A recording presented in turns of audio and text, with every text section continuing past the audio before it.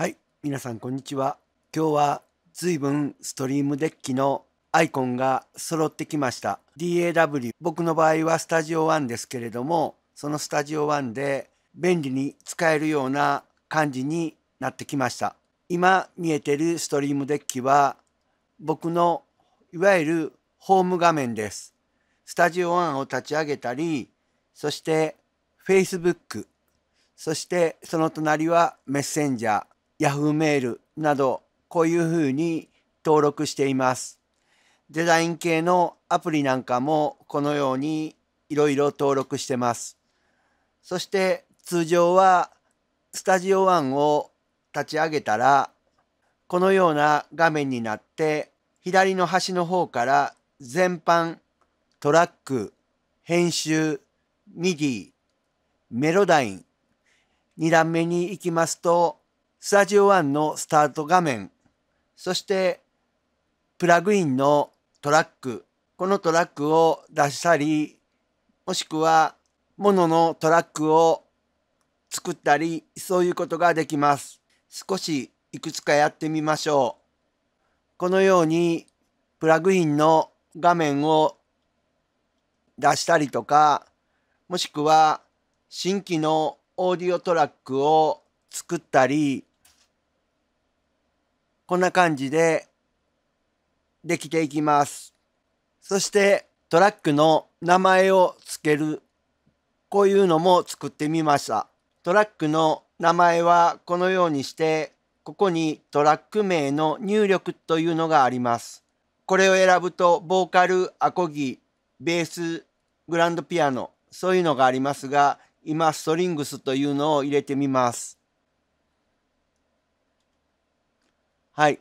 このように一発でストリングスという言葉が入るように作っています。そして極めつけはここで自動的にエフェクトを入れてトラックを作っていきたいと思います。例えば新しいボーカルトラックを作る。こういうふうにボタンを一番上に設定しています。これを押すと自動的にボーカルのトラックができてそしてインサートも全部できます。ここに RX8 のノイズ処理を入れるようにしてそしてその次はマイクモッドというソフトです。これはマイクをエミュレーションしますので僕のマイクからそしてブルーのマイクとか世界中のたくさんのマイクがこのようにあってマイクをエミュレートするソフトウェアです。そして次には最近買ったプラグインアライアンスの最高峰のチャンネルストリップアメック9099が自動的に入るようになっています。まだいろいろどんなのがあればいいか考え中なんですが、例えばその下の方は UJAM のアンバーというギターのソフトを入れています。押してみます。はい。このようにギターのソフトが立ち上がりました。これも連携してあとエフェクトなんかも入れるといいと思います。そして3つ目はコンタクトです。ネイティブインストゥルメントのコンタクトがこのボタンを押すと立ち上がってきます。また、その隣は Easy Base です。Easy Base を押します。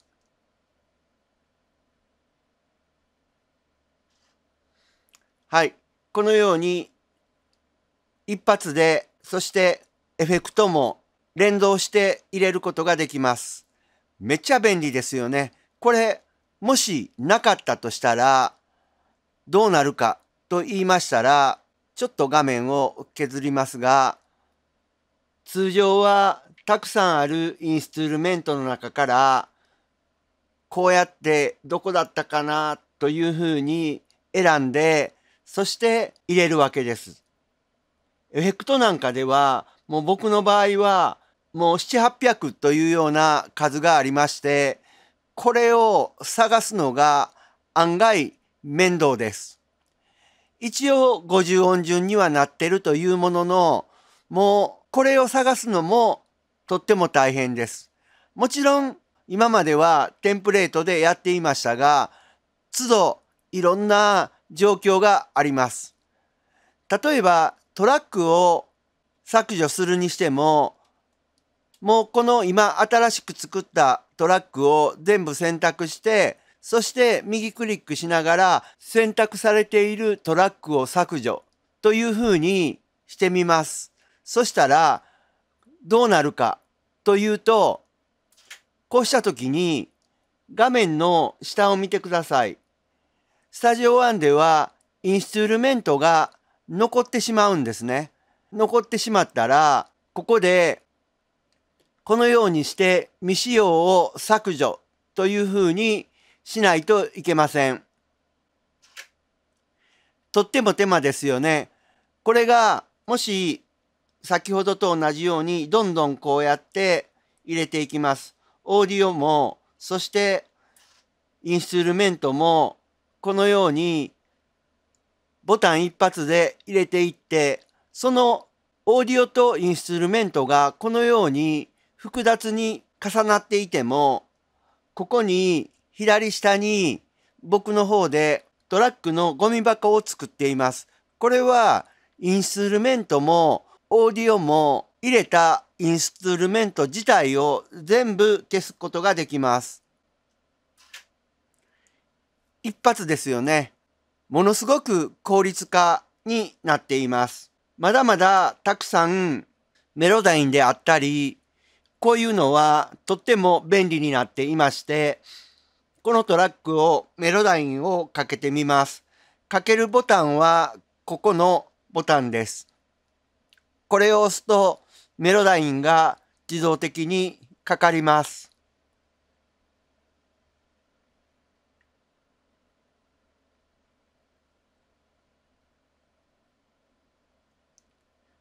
もちろんメロダインを削除するのもこの横に作っています。こういうふうにですね。そしてもう一度メロダインをかけます。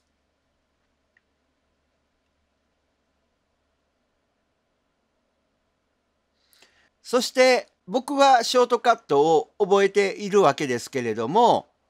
例えばサイズというボタンを押しますと自動的に虫眼鏡のアイコンに変わります。そしてすぐにこうやって拡大縮小ができますし移動という手のひらツールを押すとこのように手のひらツールになってこのような移動ができます。また僕の場合ピッチを触ることが多いんですけれども少しちょっと拡大をしてみます。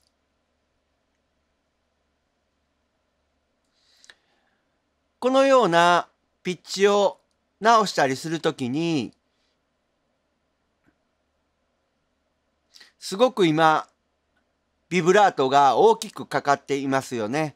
こういうような時にもこれを選択しまして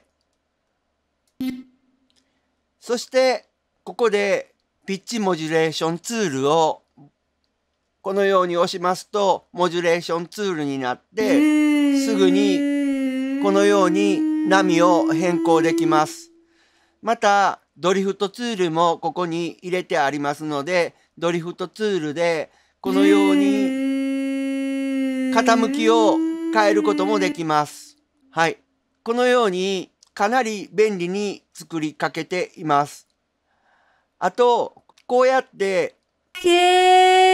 動かしたりした時に、あ、元の方が良かったなと思ったら、右クリックしてオリジナルを復元、ピッチ、すべてのピッチ変更を元に戻すというのがありまして、こうするとすぐに戻るんですが、これもかなり階層が深いですのでとっても時間がかかります。